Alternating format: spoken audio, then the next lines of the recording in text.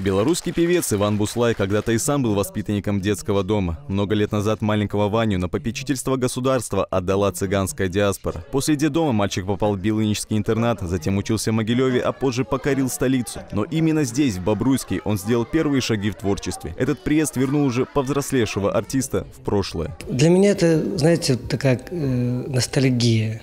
Потому что раньше для меня казалось все такое большое, комнаты большие, а все такое маленькое, зальчик маленький.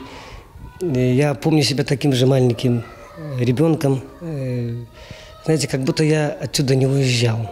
Как будто я вот где-то время приостановилось, потом опять продолжилось. Вот.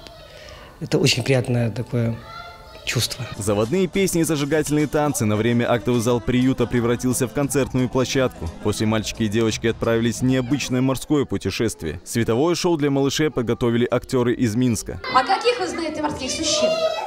О, медузы! Эта благотворительная акция ко Дню защиты детей для каждого из воспитанников стала настоящим праздником. Подарками или пустыми руками гостям здесь всегда рады. Мы решили сделать подарок э, деткам, которые остались без э, попечения родителей. Э, в каждый детский дом во всех областях Республики Беларусь мы приезжаем, и каждый из воспитанников детского дома получит от нас маленькую такую игрушку в кружке, маленький плюшевый персонаж. Более того, по договоренности с детскими домами мы приводим дополнительный спортивный инвентарь, который поможет детям быть более спортивными и физически подготовленными.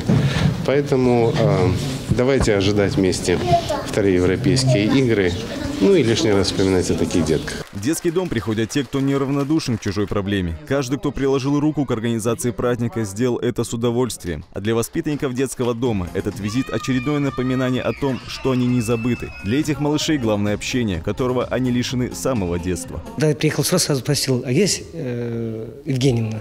Не помню просто имени, давно это было. Есть.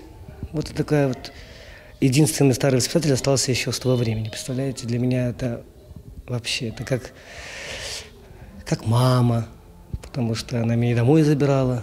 Короче, ну, меня любили. Иван Буслай сейчас много гастролирует по интернатам. Все для того, чтобы слышать детский смех и видеть счастливые лица. Вспоминая детство, певец отмечает, дедомовским жизни нелегко. Но нужно не бояться трудностей, мечтать и знать, чего хочешь от жизни. Максим Кембель, Елена Кутузова, Максим Галеонко, Бобруйск 360.